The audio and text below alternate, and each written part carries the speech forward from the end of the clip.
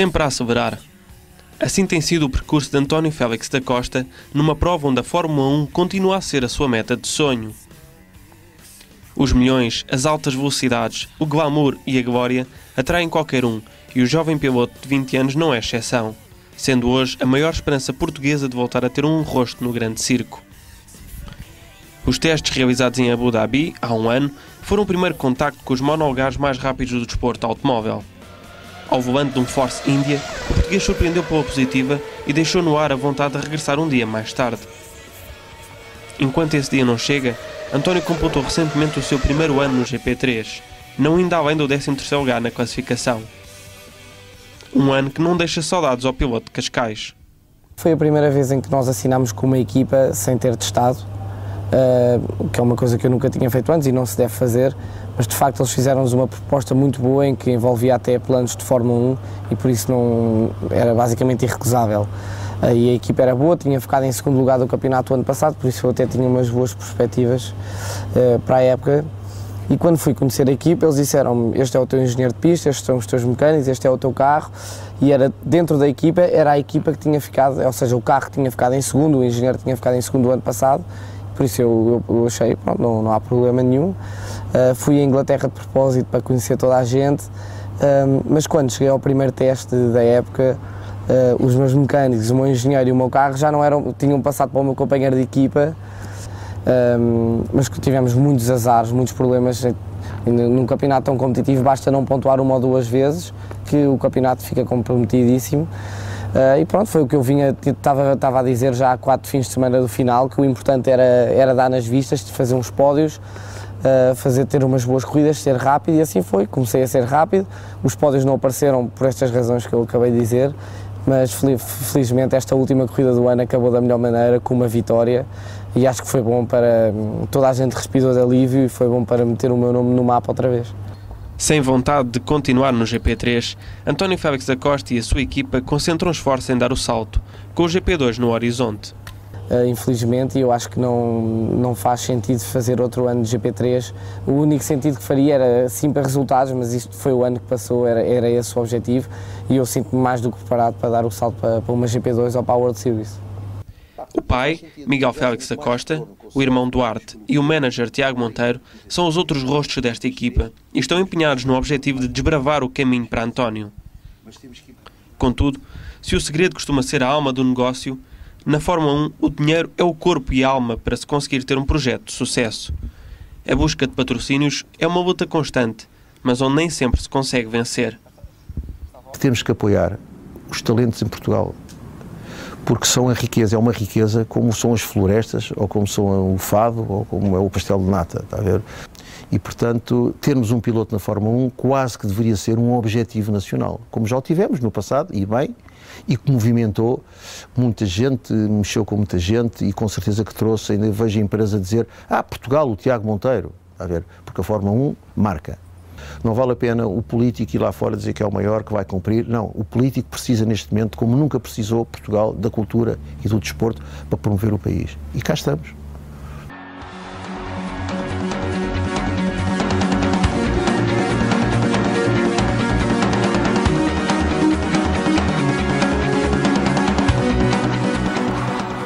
Com títulos nos karts, na Fórmula Renault e na Fórmula 3, António Félix da Costa apresenta já um longo currículo para tão tenra idade.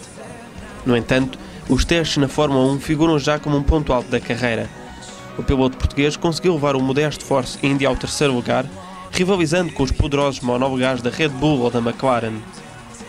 A frieza habitual dos mecânicos e engenheiros cedo deu lugar à camaradagem e simpatia pelo aí quase desconhecido António Félix da Costa.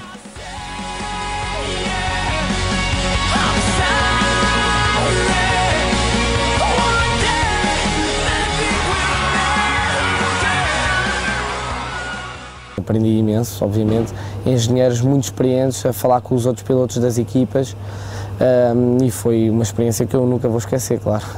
Não há um carro tão bom como um Red Bull, um McLaren, um Ferrari, mesmo um próprio Williams, um Renault, uh, e consegui ficar em terceiro, apenas do, atrás do, do, Red Bull do Vettel e do McLaren do, do Hamilton, podemos dizer. Um, e fiquei à mesma distância do primeiro em que o piloto oficial ficou do Vettel no, durante o fim de semana e até fui mais rápido que o Liuzzi que era um dos pilotos que correu nesse fim de semana. O meu tempo dava para largar da décima posição no fim de semana, que era, que era muito bom. Fui-me habituando à velocidade em que tudo passava por mim, à velocidade em que tudo acontecia, depois mexer nos botões todos do volante que a equipa ia pedindo para fazer algumas alterações. Foi, foi de facto um dos melhores dias da minha carreira, claro. É, é o meu projeto da minha vida, se você quiser. Pôr o António na Fórmula 1 é um projeto que para aos olhos de muita gente pode parecer um projeto impossível, principalmente por estarmos em Portugal e por estarmos nesta altura de crise complicada do mundo e de Portugal em particular, mas eu acredito que é possível, há que trabalhar muito, há que acreditar todos os dias, há que vencer as barreiras, há que não deixar cair os braços, é isso que a gente faz e que nos une uns aos outros, é que nós acreditamos, o Tiago, o Emiliano, o Duarte, eu e o António, mais do que ninguém, acreditamos que podemos lá chegar. Uma vida sobre quatro rodas que começou a desenhar-se em 2000, numa prova de karts em Palmela. Pequeno e franzino, como ainda é hoje, António Félix da Costa ganhou então a alcunha de Formiga, nome que o acompanha até aos dias de hoje. O talento para a velocidade foi demonstrado logo nesse dia, alimentando nova esperança de uma família em permanente aceleração no desporto automóvel. Porque sempre gostei imenso de motores e coisas, parece que tenho um bocado de gasolina no sangue e pronto, mas foi, foi, foi não sei, não sei porquê, sinceramente não sei porque que me virei para ali, obviamente por ter irmãos, como, como disseste, mas eu acho que foi, obviamente isso tem influência, mas era preciso gostar e, e gosto. Começou como tudo começa por acaso, por acaso, eu estava ligado ao desporto automóvel né, e tinha uns amigos que me levavam a Évora, faziam umas voltas de kart. O meu filho o Duarte começou a andar de kart, tinha jeito, começou ali assim a disputar uma. Né, e, e, e ele começou, e tinha um outro filho, um outro, não é meu filho, mas que é irmão dele, da, da, da, daquele João Mel, Teixeira, que também tinha jeito, também corria, os tios Melbrainers também corriam. Portanto, havia aqui assim todo um environment à volta da família em que todos os dias praticamente se falava de desporto automóvel. Também vou contar outro segredo que se calhar não devia dizer. Eu chumbei no exame de condução. Que foi nada, nada de grave, foi só uma passadeira, não parei, vinha uma pessoa a passar, eu não parei, mas cortaram-me logo. Por isso tive, tive que repetir e fazer mais umas aulas de condução, um bocado chato.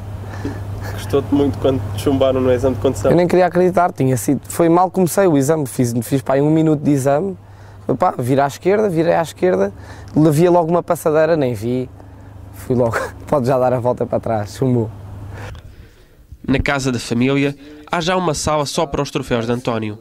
Muitos para quem tem apenas 20 anos, mas poucos para quem aspira a muitos mais.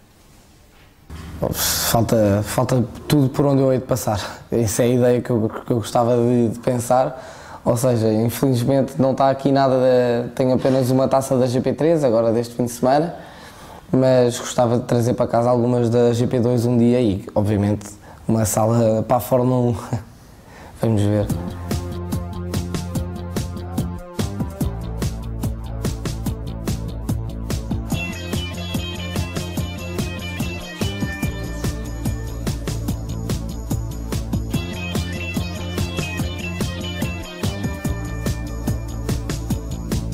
Miguel Félix Acosta não perde o sono por ver os filhos envolvidos permanentemente em corridas.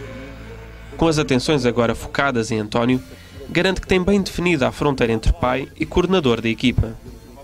A consciência de que os progenitores são geralmente mal vistos no desporto automóvel está bem presente e Miguel Félix da Costa não quer ser mais um obstáculo no trajeto do seu filho.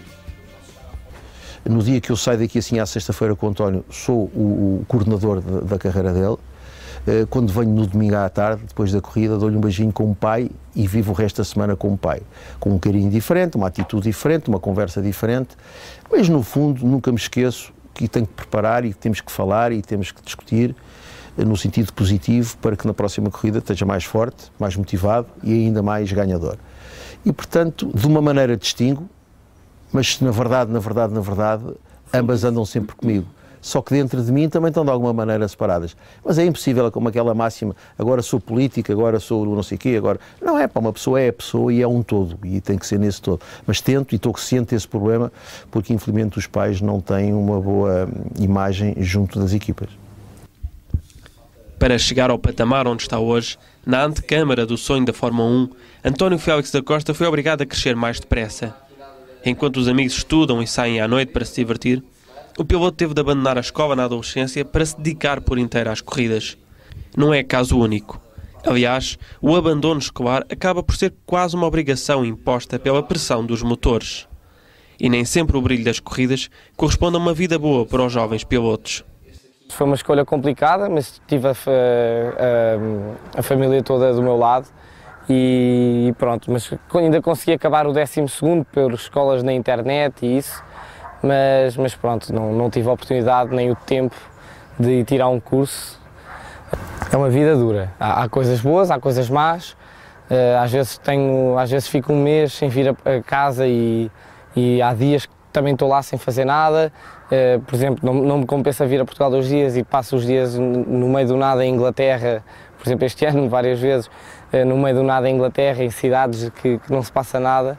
Uh, sozinho, e, mas pronto, mas depois tenho as recompensas destas vitórias, estes pódios, estas, estas alegrias que, que pronto, fazem esquecer isso.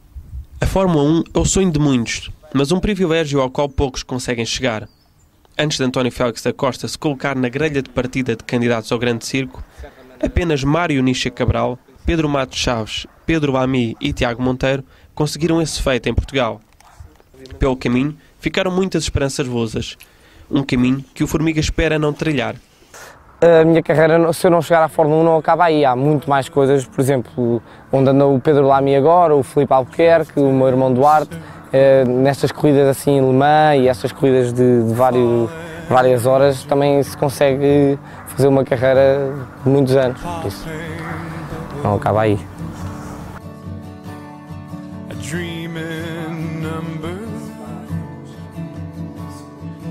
Count them backwards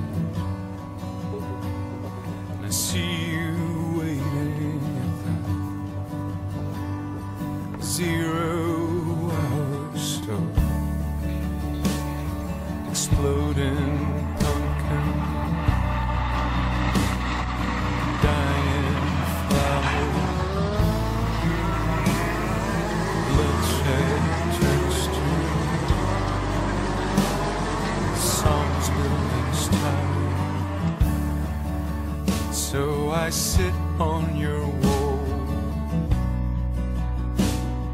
If I get there